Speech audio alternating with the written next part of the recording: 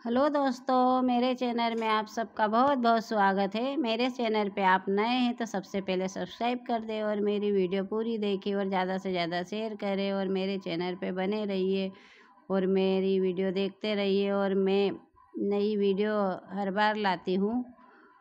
तो प्लीज़ आज आज मैं लाई हूँ आपके लिए बचे हुए चावल से खांडवा बनाना बताऊँगी मैं आपको। और उसके साथ ही मैं हरी चटनी भी बताऊँगी। तो देखिए हमें हरी चटनी बनाने के लिए हमें क्या चाहिए? ये हमने धनिया लिया है। और हरी मिर्ची ली है, दो हरी मिर्ची को काट के डाल दिया है मैंने। और लहसुन की एक दो कलियाँ ली है, वो भी डाल दी इसमें। और थोड़ा सा नमक डाला है स्वाद अनुसार।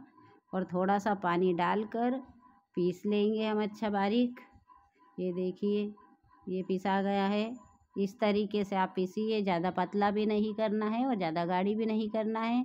ठीक करना है, ये मतलब ताकि हम खा सकें उसके साथ।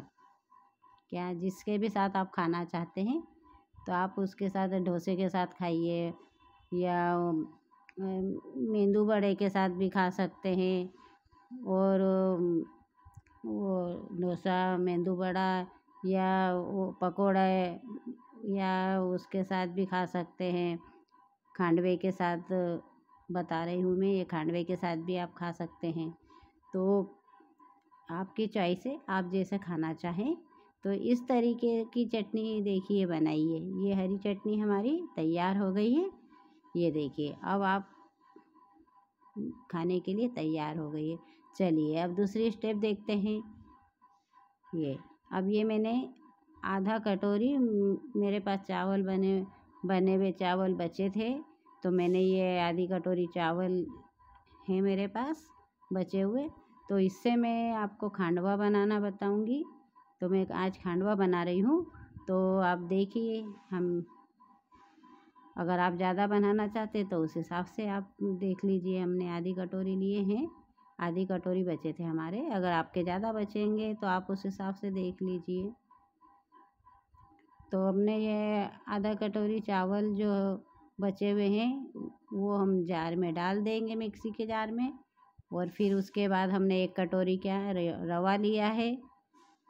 तो आप, ज़्यादा चावल आपके होंगे तो उस हिसाब से आपको रवा भी ज़्यादा लेना पड़ेगा, इसका विशेष ध्यान रखिए, है ना? और अच्छे से, और क्या करेंगे, अब हमने ये छाछ लिया है। जैसे आप छाछ की जगह दही डालना चाहें तो दही डाल सकते हैं। दोनों में से कोई भी एक चीज़ मैं तो छाछ डाल रही हूँ गाढ़ा वाला छाछ हैगा जिसका मैंने ऊपर का पानी नि, निकाल दिया है और नीचे जो जम जाता है ना गाढ़ा छाछ वो लिया मैंने और ऊपर का पानी फेंक दिया हटा दिया उसे। तो ये देखिए आप छाछ दही चाहें तो दही भी ले सकते हैं। दोनों में से पर एक चीज़ कोई से भी लेना है आपको है ना? दोनों चीज़ें मत डालिएगा। दोनों अगर डाल देंगे ना आप छाछ और दही तो बहुत ज़्यादा खट्टा हो जाएगा और आपको खाने में मज़ा नहीं आएगा।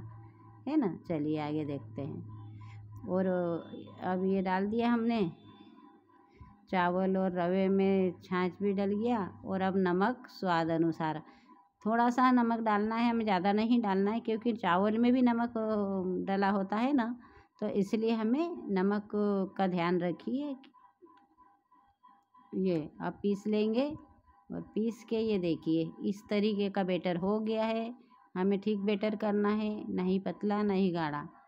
ज़्यादा पतला होना नहीं गाढ़ा बेटर, गाढ़ा ही होना हमें। गाढ़ा बेटर चल जाएगा, लेकिन पतला नहीं चलेगा इसमें, खांडवे में।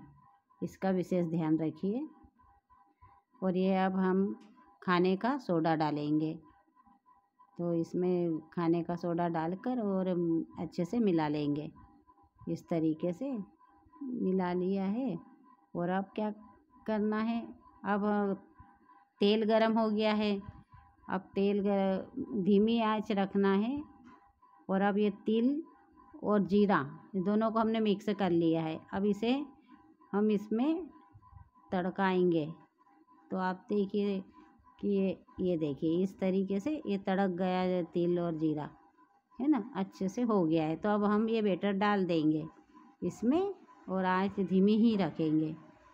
और ये देखिए, ये डल गया और अब हम कोई भी उंडा बर्तन आपके पास हो, कटोरा या जो भी चीज़ या धामा हो, जो भी हो या भगोनी हो, तपेली तो जो भी हो, उंडी चीज़ पर ढाकिएगा, है ना?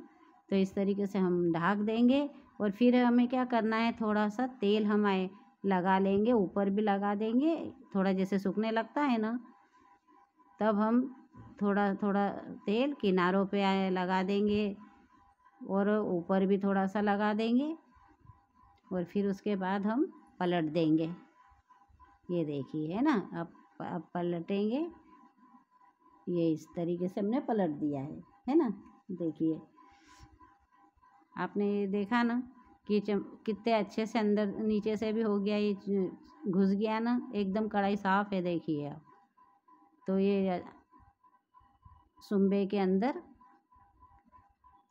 ये, उसके अंदर घुस गया है सुम्बा। तो अब है ना, पलट दिया ये, देखिए, इस तरीके से ना, पलटने में भी बहुत आसानी हुई है। बहुत आसानी से पलट जाता है। बस आपको ध्यान रखना है कि थोड़ा सा तेल ज़्यादा लगेगा इसमें थोड़ा तेल ज़्यादा लगेगा और आज धीमी रखिएगा और जलाइएगा मत। इस तरीके से कलर करिएगा। ब्राउन कलर इस तरीके से कलर हो जाएगा ना, आपका अच्छा से पक जाएगा। अब औंधा कर दिया हमने, इसको पलटा दिया है ना तो अब नीचे से भी अच्छे से पक जाएगा ये। और फिर हमने और थोड़ी सी देर उसको ढक दिया था। और ये देखिए, होगी, आप निकाल लेंगे इसे। है ना? ये इस तरीके से। अब हरी चटनी के साथ आप इंजॉय करिए, खाइए गर्मा गर्म खांडवा, ये बचे हुए चावल का खांडवा और मुझे बताइए कि ये बचे हुए चावल का खांडवा और चटनी, हरी चटनी कैसी लगी आपको? कि, चटनी के साथ मज़े से खाइए आप और बताइए मुझे कि चटनी और खांडवा, खांडवे के साथ चटनी कैसे लगी?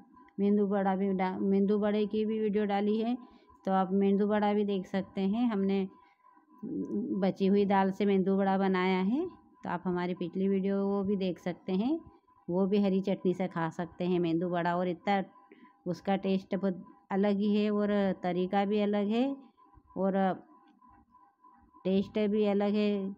जो आप पहले पुराना मेंदू बड़ा खाते थे, उससे बढ़िया टेस्ट है इसका। एकदम नया फ्लेवर हैगा उसका। मेंदू बड़े का। तो आप मेंदू बड़ा भी ज़रूर ट्राई करिएगा। चलिए, और मेरे, ये थी फ्रेंड मेरी वीडियो बचे हुए चावल से खांडवा बना, बनाने की और हरी चटनी। तो इन्जॉय करिए और मुझे बताइए कि कैसी, कैसा बना बचे हुए चावल से कैसा लगा खांडवा आपको। है ना? और आज के लिए फ्रेंड इतना ही। Bye bye.